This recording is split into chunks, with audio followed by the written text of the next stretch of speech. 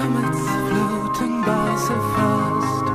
Children's faces smile like suns at last. Lilac butterflies are cruising without fear.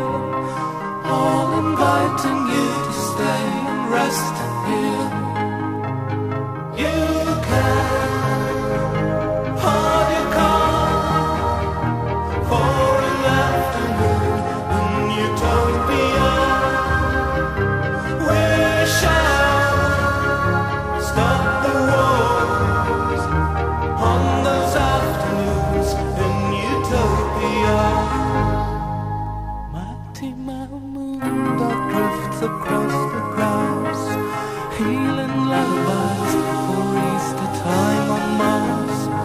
Paint your hats and shoes with flowers and with stars Singing in